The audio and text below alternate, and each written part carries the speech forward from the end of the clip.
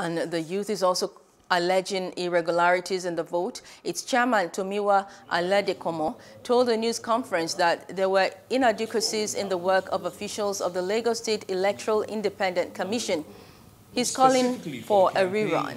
Yesterday, we have listened carefully to the chair. Specifically, there were three sets of challenges that we saw. In Ikate, uh, for polling units 3 to 8, the polling units were moved into the palace of the Oba, disenfranchising any voters who wanted to vote for anyone other than the ruling party. It's a terrible affront to democracy to suggest that polling booths should be placed in places where they are unreachable by people who want to vote for um, any other parties beyond the ruling party. Beyond that, in Igbokoshu, we saw a series of violence and harassment of voters, of our polling agents, um, and of anybody, again, who wished to vote for anyone beyond the ruling party. Lastly, in Lekki, several polling units did not receive materials until very, very late in the day. The latest of these were received at 3.15. Polling should have stopped at 3 p.m., but the polling materials did not actually arrive until 3.15 p.m. And so many people who had come out in the morning, who had come out earlier in the afternoon to vote, did not have the opportunity to cast their votes. We know Justice Phillips, who has headed the judiciary in Lagos, who is a woman of integrity, um, who has an illustrious career in the legal profession, will not tolerate the kind of conduct of, of some of her staff um, that they displayed at the election yesterday. We also know that she will not have tolerated um, some of the irregularities that were witnessed. And for her to continue to preside um, over that institution, uh, we believe that she will do the right thing to ensure that there is a rerun in that particular ward um, so that the votes of the people in that particular ward will count.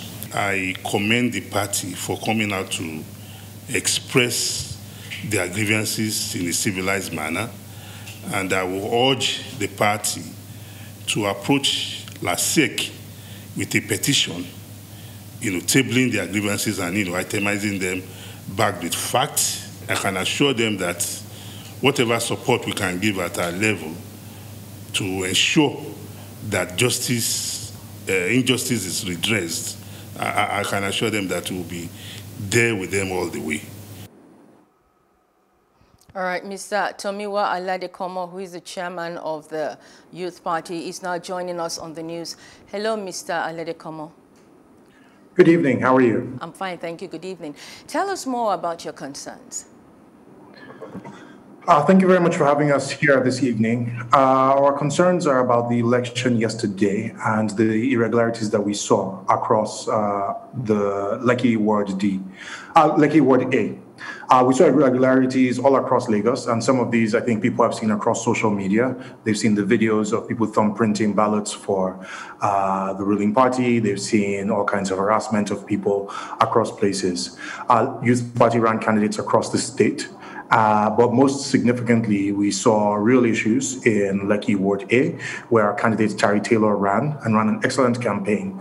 Um, we saw significant harassment and violence in Google, uh, where both our polling agents, the voters, were harassed uh, with no intervention by the police in that area. In Ikate, we saw were the police were the police on ground they were on ground and they did not do nothing. They did nothing to stop the harassment of voters, to do to stop the harassment of voting agents. What do you intend to do about this? All that you've narrated. Uh, yeah, so I think uh, just two additional things that are worth mentioning is that in Ikate, we saw polling booths being moved into the Oba Elegushi's palace, uh, where people who were not voting for the ruling party were not able to access. Um, in Lekki, we saw uh, materials not arriving until almost 3 p.m. at some polling units or after 3 p.m. at some polling units, disenfranchising anybody who came in earlier with an opportunity to vote or trying to vote.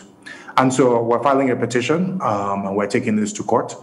We are asking LASIEC to declare a rerun of the election in that ward uh, because given everything that we have seen, there is no way that that could have been a free, considered a free and fair election.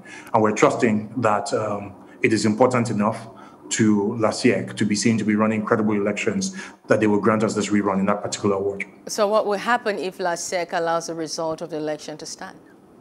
Then we will take it to court and we will let the courts decide. Well, we wish you the best, and uh, we have to stop here because of time.